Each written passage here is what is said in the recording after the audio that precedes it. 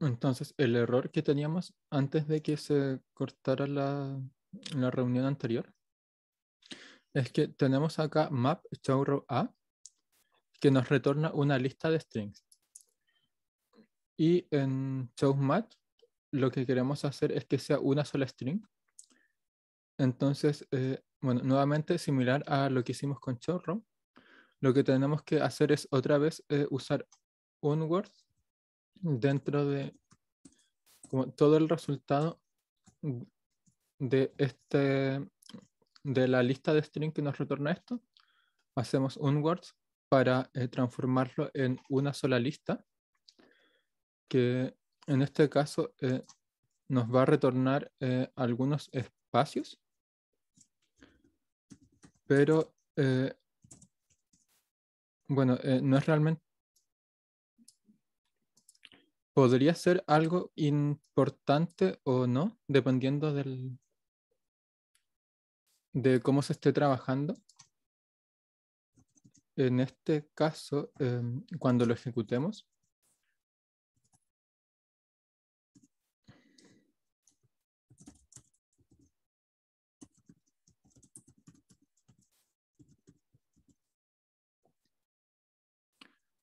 em, bueno, ahora nos va a crear el archivo matc y no lo hizo. Eh. Ah, es porque no, lo estoy usando para... Eh.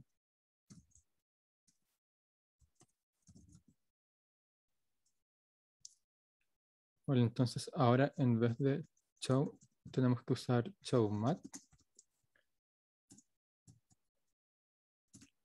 Lo volvemos a ejecutar y ahora sí tenemos match C.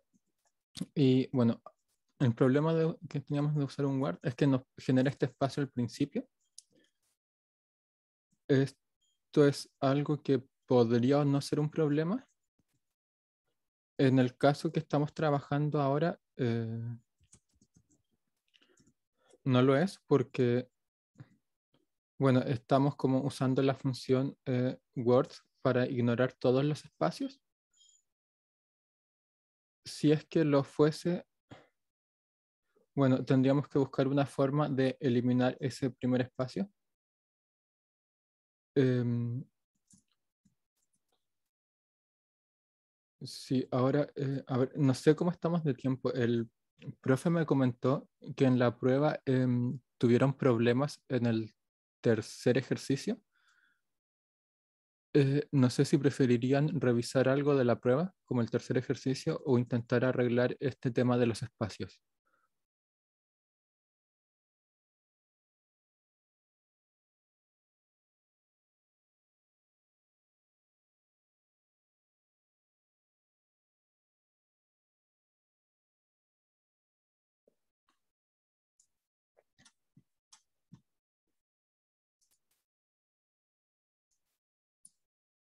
Entonces, para que quede grabado, eh, bueno, en esta ayudante ya más o menos se cumple el objetivo de trabajar con archivos.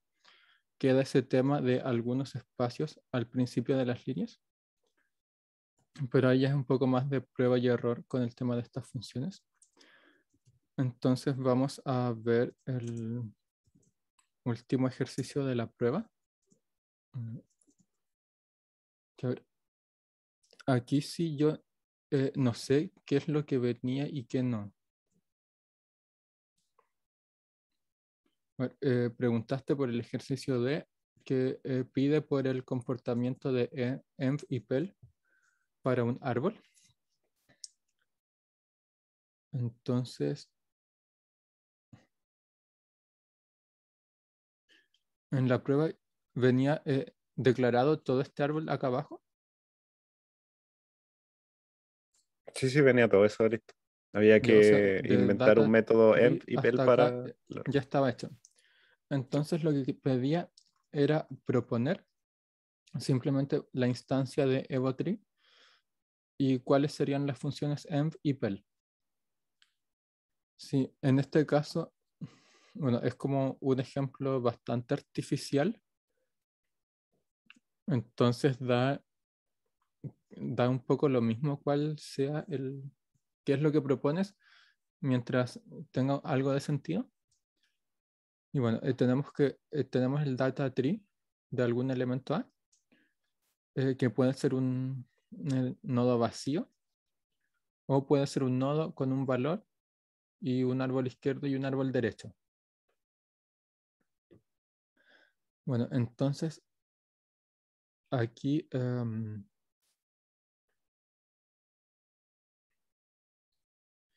ya env lo que hace es agregar como más capas, o sea, lo que tendría que hacer es agregar un árbol, o sea, crear un árbol y agregar otro árbol dentro.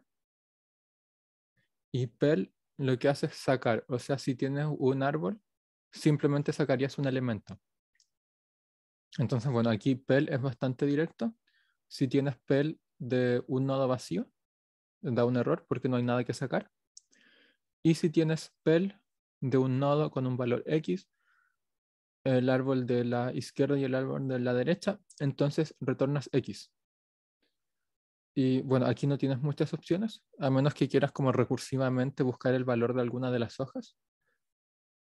Em, pero tienes que devolver como el valor. Eh, por cómo está definida PEL, no puedes devolver ni L ni R porque esos seguirían siendo árboles. Como tienes que devolver un valor que sea un tipo em, básico de Haskell. O bueno, no necesariamente básico. Este también podría ser un árbol de, no sé, maybe algo.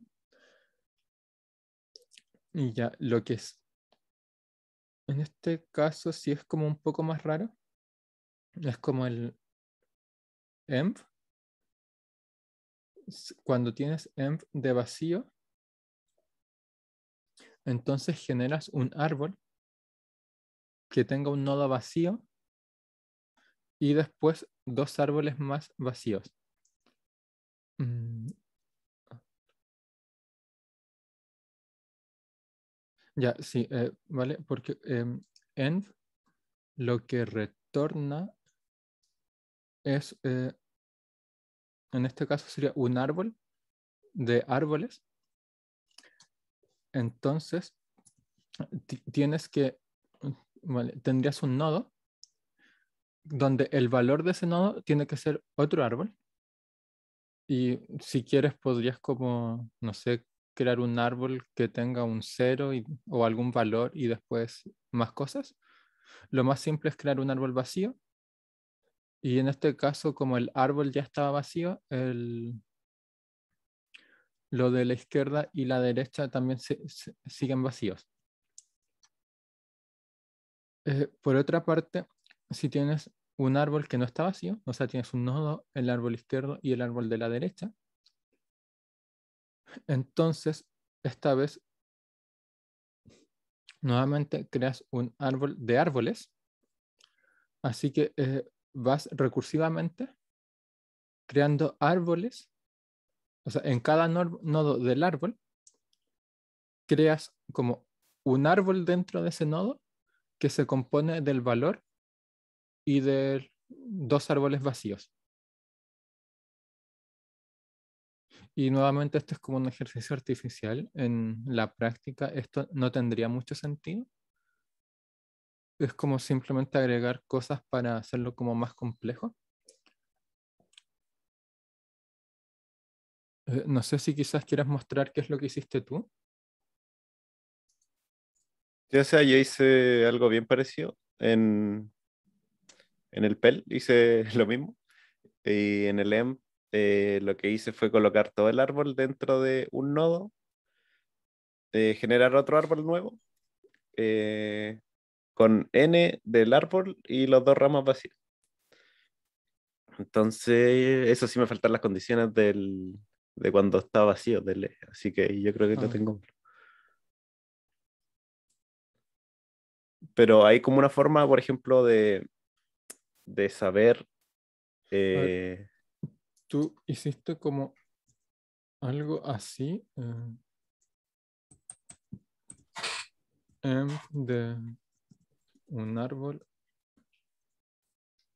es igual a n de árbol vacío, vacío. Sí, eso mismo. Sí. Sí, igual cumple con el requisito. eh. Supongo que la idea era un poco practicar la recursividad. Sí. Así que como- no sé cómo lo considera el profe. Pero sí, cumple con el requisito de tener como un árbol dentro de un árbol. Y en el PEL hay una forma de saber como cuando el X no es eh, un árbol, sino un número, como para, para hacer una excepción. ahí. No, el X.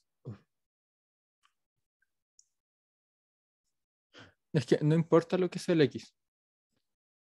Porque Mm, eh, de todas formas pasaste de un árbol de árboles a un árbol normal. Como que igual le quitaste una capa. sí. Y Pero es que, eh, lo que mencionaste con el env cuando está vacío, si es que este árbol es vacío, genera en un árbol con un nodo vacío y después los, el resto de árboles vacíos, que sería lo mismo que la primera línea. Pero por ejemplo, en el caso de que se le agregue PEL al árbol original sin hacerle primero un EM, entonces ahí retornaría un puro número. Entonces, no hay Sí. como una forma de poder eh, hacer una excepción a ese caso. Ah, sí, se... O sea, podrías hacer como... N...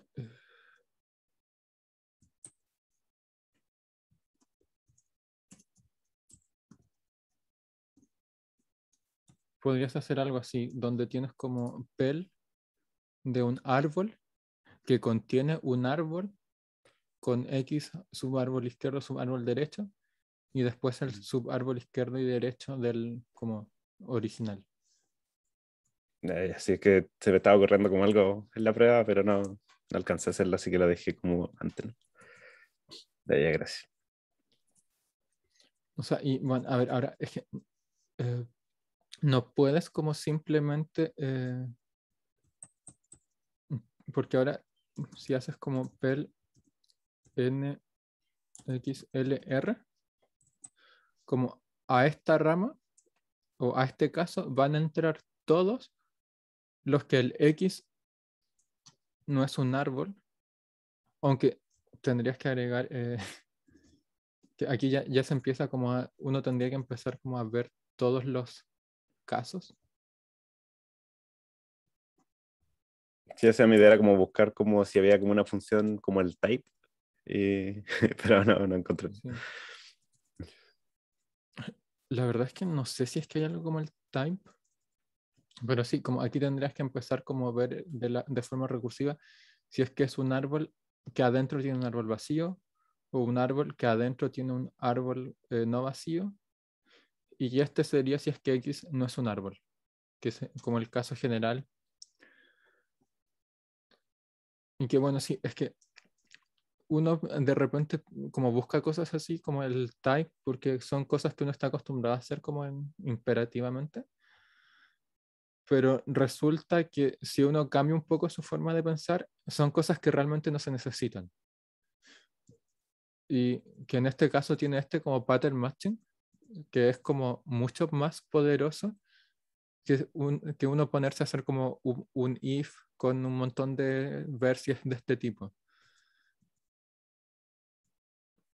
Como que permite de una forma más simple eh, filtrar por cosas que sean de cierto tipo, como, o que estén construidas de cierta forma.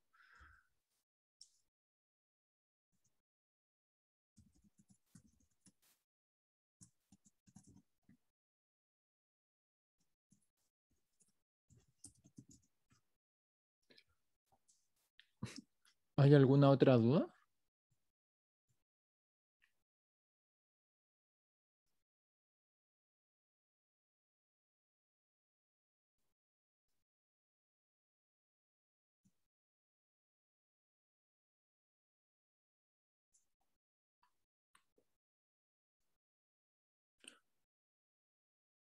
Si no hay, entonces eh, la ayudantía va a quedar hasta acá.